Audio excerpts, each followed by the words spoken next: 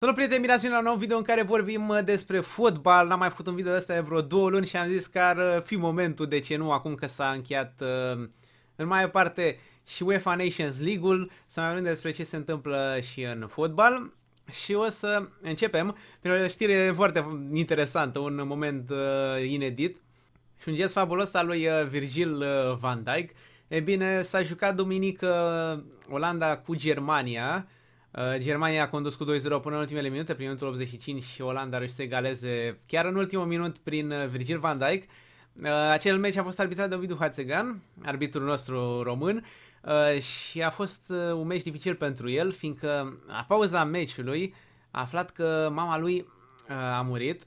Ei bine, această știre a venit fix la pauză printr-un mesaj din partea familiei și totuși Hatzigan a putut să ducă meciul um, până la final fără probleme, să se concentreze asupra partidei, lucru care a fost lăudat de absolut toată lumea, chiar și de observatorul uh, de la UEFA.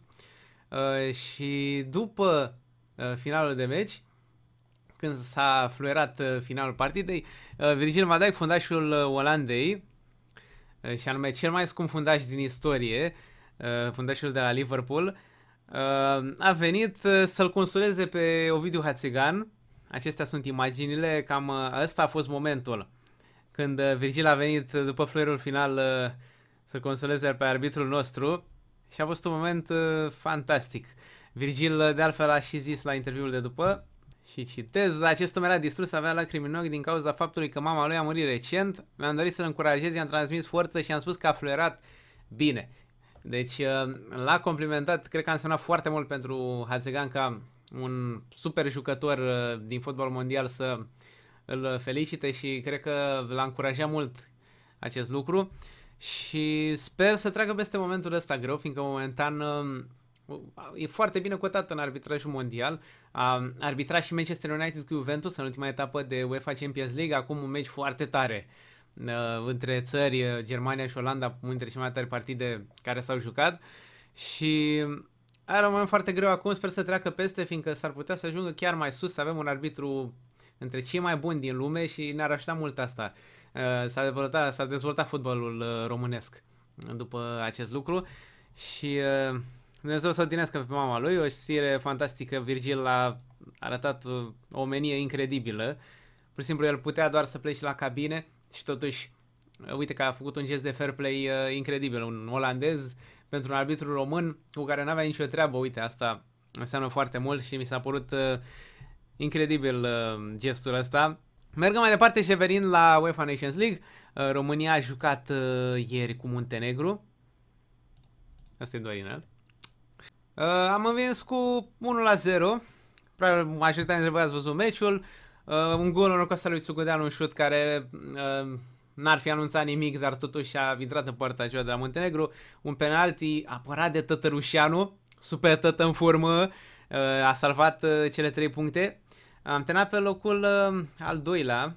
Acesta a fost clasamentul final.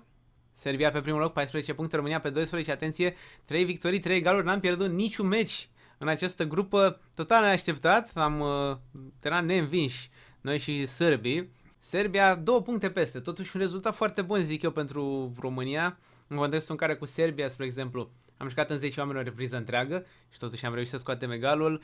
Uh, pe Lituania am bătut în ultimul minut prin acea fază senațională lui Maxim, foarte aproape de a merge în urna a treia pentru preliminarele Euro 2020, am fost la un gol distanță. Dacă mai dădea România un gol, dacă se 2 la 0, am fi avansat în luna a treia și asta ar fi însemnat probabil un adversar mai ușor în uh, preliminarii.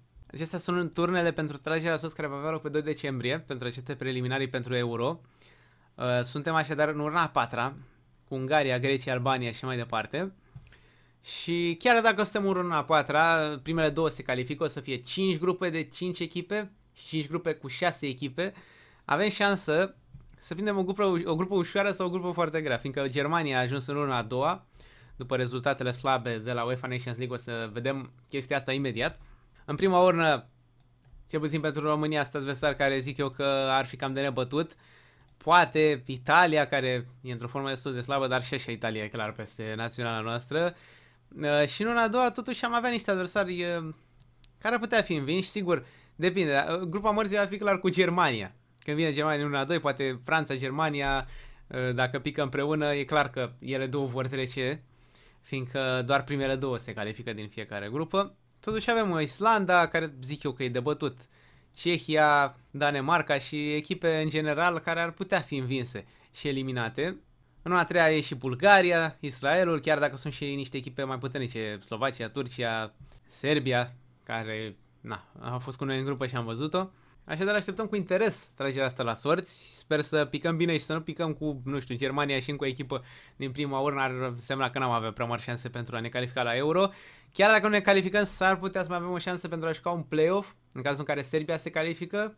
Terminăm pe 2 aici în grupa de Nations League. Și acum că s-a terminat, uh, s-au terminat aceste grupe de Nations League, am aflat și ce echipe au ajuns în primele patru, care vor juca finalele vara viitoare în iunie o să fie Portugalia, care va găzdui turneul ăsta, Anglia, Olanda și uh, Elveția, culmea. Uh, și clasamentele au fost așa.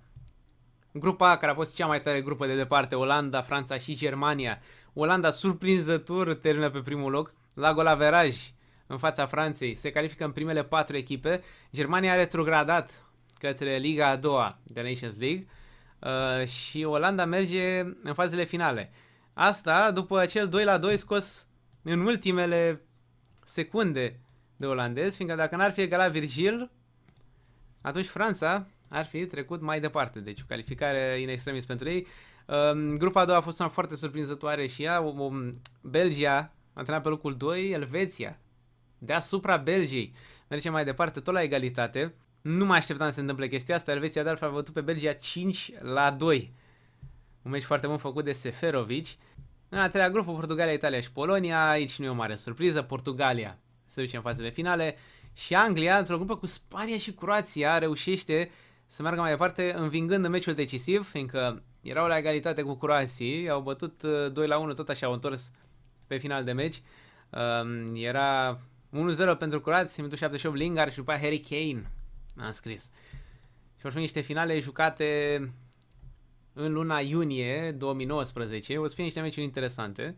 Și mai aveam și articolul ăsta cu Dorinel, care spunea că e dezamăgit de campania României în Liga Națiunilor, totuși ținând cont că am de ne și această grupă de calificare, nu știu. Uh, m-am gândit să vorbim și noi în comentarii, să-mi spuneți ce părere aveți despre parcursul României în această grupă, dacă sunteți mulțumiți, dacă credeți că se putea mai mult, uh, să-mi spuneți acolo în comentarii ce credeți despre națională, cum s-au descurcat băieții noștri. Uh, Urmează aceste preliminare pentru Euro, un turneu foarte important, fiindcă Euro 2020 se ține în mai multe țări europene, prin care și la București, pe la național o să joace patru meciuri și dacă România se califică, două dintre ele uh, vor fi cu naționala noastră, deci vom juca Euro la noi acasă, ceea ce cred eu că e o șansă unică, doar o dată cred că va putea România să joace acasă uh, într-un turneu final de genul Euro. Bun, și cam asta este despre Nations League. Eu nu sunt mulțumit de ce a făcut România în această grupă. Uh, mi-a plăcut mai ales că am văzut că jucătorii noștri s-au luptat și chiar și-au dorit să facă ceva în acele meciuri, ceea ce parcă mi se pare că lipsise în ultimul timp. Uh, chiar și-au dat viața pe teren, ce puțin mie așa mi s-a părut. Uh, spuneți-mi și voi în comentarii cum vi s-au părut jucătorii noștri și Urmează săptămâna viitoare, avem uh, din nou UEFA Champions League, revine cea mai tare competiție între cluburi uh, și niște meciuri foarte tare, o să joace Atletico Madrid cu Monaco, Tottenham cu Inter, uh, PSG cu Liverpool. Mâine să fac un video și despre această etapă de Champions League. Dacă vreți așa ceva sau aveți alte idei de videouri legate de fotbal, spuneți-mi în comentarii. Nu uitați de like la acest video. Mulțumesc pentru toată susținerea aproape. Am ajuns la 100.000 de abonați și voi anunța și uh, data și ora în care voi face uh, extragerea pentru acel giveaway pe care fac cu acel PS4 Pro. Și cam atât, prieteni. Pa!